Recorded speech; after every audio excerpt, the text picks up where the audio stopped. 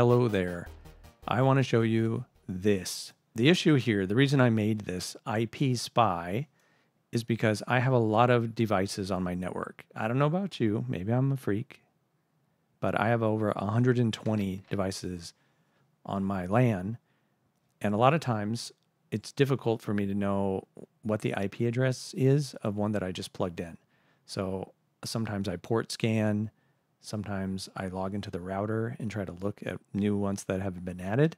But with this new invention, if you want to call it that, you can figure it out right away. So let's say you have a Raspberry Pi or a video encoder or an IP camera. And in the case of these two, there really is no way, no easy way to get the IP. Like they don't even have a host name that you can look for. Uh, the Pi, you could plug in a monitor and that, you know, I'm sure you could get it there. But let's say you don't want to, you're busy. And there we go. A little late for that. But did you know that with most home LAN systems, you've got your like your cable box or your internet modem or whatever, and it actually is your DHCP server. And whenever you plug in a device on Wi-Fi or through the LAN cable, you're asking this, please give me an IP address. It handles conflicts, so it won't give out the same one to two people. And it sends out this message uh, DHCP acknowledgement. And if we're somewhere on the network, or to be sure, in between the two devices, we can, great artwork here, we can actually capture this. And that is what this does. So let's say I want to know what's going on with this Raspberry Pi and it's on and on the network. I just plug this in, which is running on a battery, in between the two. See, there's two Ethernet ports here. And now, right away, within a few seconds, it renegotiates the IP. And there it is.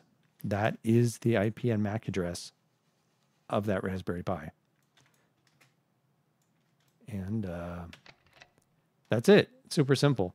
So the software is a very short Python script that was written mostly by AI. Uh, never mind that.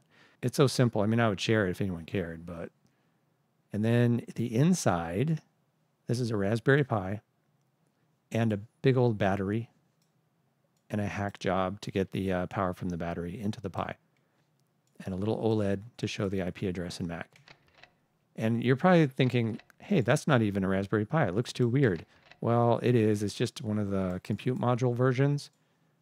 So it's very small. And then you can kind of pick your own carrier board or baseboard, as they call it, and this is the one I'm using. It has two Ethernet ports already in, so I don't have to add one with USB or something. So I can use it as kind of a tiny hub. And here's the case that I 3D printed. And that is it. A very, very simple project, but useful for me. I feel like this should already exist in like a tinier much nicer package. So let me know if you know of such a thing. Thank you.